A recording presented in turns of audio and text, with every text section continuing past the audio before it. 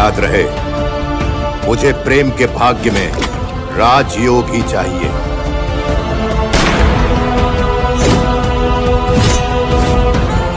यहाँ रहा तो सिर्फ़ एक पल के लिए मरूँगा, पर तुमसे दूर रहा तो पल पल के लिए।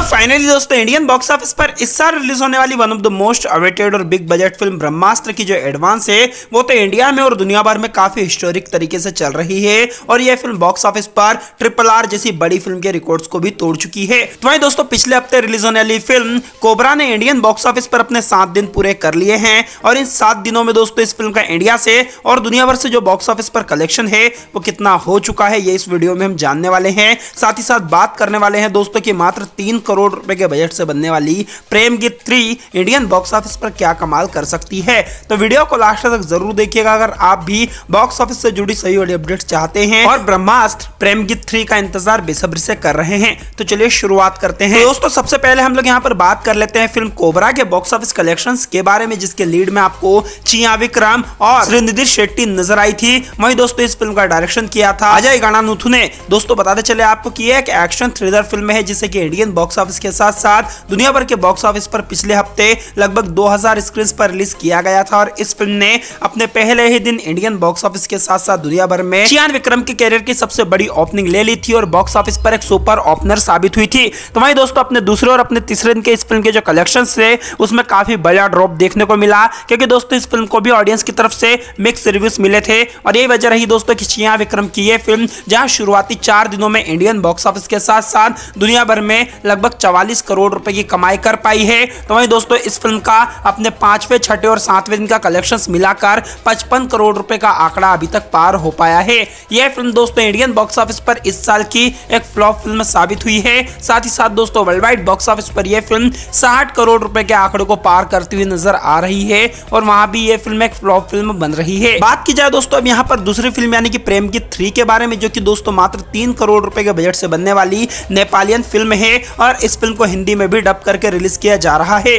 दोस्तों, बताते चले आपको कि यह फ़िल्म भी इंडियन बॉक्स ऑफ़िस पर इस साल रिलीज़ होने वाली एक मच अवेटेड फ़िल्म बन चुकी है, क्योंकि दोस्तों, इस फ़िल्म का जो ट्रेलर है, वो ऑडियंस को काफ़ी पसंद आया है। साथ ही साथ, दोस्तों, ये फ़िल्म मात्र तीन करोड़ रुपए के बजट के साथ रिलीज़ की जा रही है, जिसके विजुअल्स बॉलीवुड की सौ करोड़ फ़िल्मों से भी ज़्यादा अच्छे हैं। जी हाँ दोस्तों, आप सभी को बताते चले कि नेपालियन फ़िल्म प्रेम की थ्री जिसके लीड में आपको प्रदीप खड़का, क्रिस्टिना गुरंग और शिवा श्रेष्ठा नज़र आने वाली है। इस फ़िल्म का डायरेक्शन किया है चेतन गुरंग ने और इस फ़िल्म को इंडियन बॉक्स ऑफ़िस पर और इस एक्शन थ्रिलर फ़िल्म को इंडियन बॉक्स ऑफ़िस पर 23 सितंबर को नेपाली और हिंदी में रिलीज़ किया जाना है। बताते चले दोस्तों आपको कि इस फ़िल्म के ट्रेलर को ऑडियंस की तरफ़ से काफ़ी अच्छा रेस्पॉन्स मिला है। इस फ़िल्म का दो मिनट का ट्रेलर दोस्तों एक्शन विजुअल्स और बेहतरीन लोकेशन से भरा हुआ है। और ये वजह है दोस्तों की ये फ़िल्म इंडियन बॉक्स ऑफ़िस पर अपने पहले दिन दो से तीन करोड़ रुपए की कमाई तो हिंदी में ही ले सकती है। हालाँकि दोस्तों इस फ़िल्म का क्लेश सनी देओल की फ़िल्म चुप से हो रहा है। लेकिन दोस्तों जिस तरह शानदार गाने इस फ़िल्म में हमें सुनने को मिल रहे हैं। ट्रेलर भी धमाकेदार देखने को मिला है। उसके बाद दोस्तों, प्रेम गीत थ्री इंडियन बॉक्स ऑफ़िस पर एक बड़ी सरप्राइजिंग हिट बन सकती है और कई सारे रिकॉर्ड्स अपने नाम कर सकती है।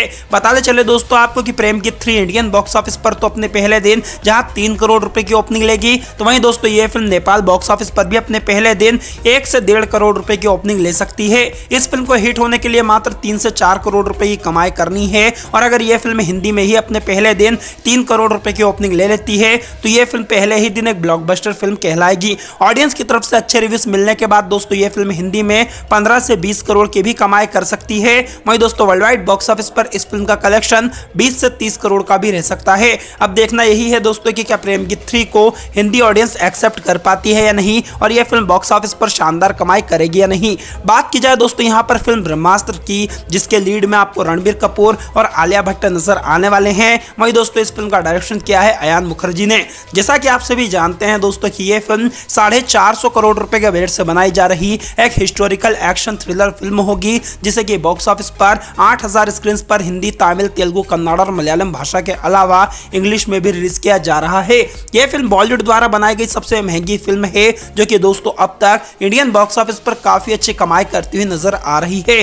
बताते चले दोस्तों आपको कि ब्रह्मास्त्र, जिसके टीजर ट्रेलर और गानों को ऑडियंस की तरफ़ से आउटस्टैंडिंग रिस्पॉन्स मिल चुका है। इस फ़िल्म के एडवांस को भी दोस्तों ऑडियंस काफ़ी सपोर्ट कर रही है और यही वजह है दोस्तों की इस फ़िल्म ने ट्रिपल आर जैसी बड़ी फ़िल्म को हिंदी में पीछे कर दिया है। इस साल रिलीज़ होने वाली बॉलीवुड की सबसे बड़ी और सबसे ज़्यादा कमाई करने वाली फ़िल्म भूल भुलिया को दोस्तों ये फ़िल्म शुरुआती तीन दिनों के एडवांस में ही पीछे कर चुकी है। साथ ही साथ दोस्तों इस फ़िल्म ने आईनॉक्स पीवीआर और सिनेपोलिस को मिलाकर तीन लाख से ज़्यादा टिकट अपने पहले ही दिन के लिए पार कर दिए हैं। बताते चले दोस्तों आपको कि इस फ़िल्म को लेकर ऑडियंस के बीच में जो एक्साइटमेंट है उसका अंदाज़ा इसी से लगाया जा सकता है कि इस फ़िल्म ने अपने पहले दिन के लिए हिंदी में पंद्रह करोड़ रुपए के आंकड़े को पार कर दिया है।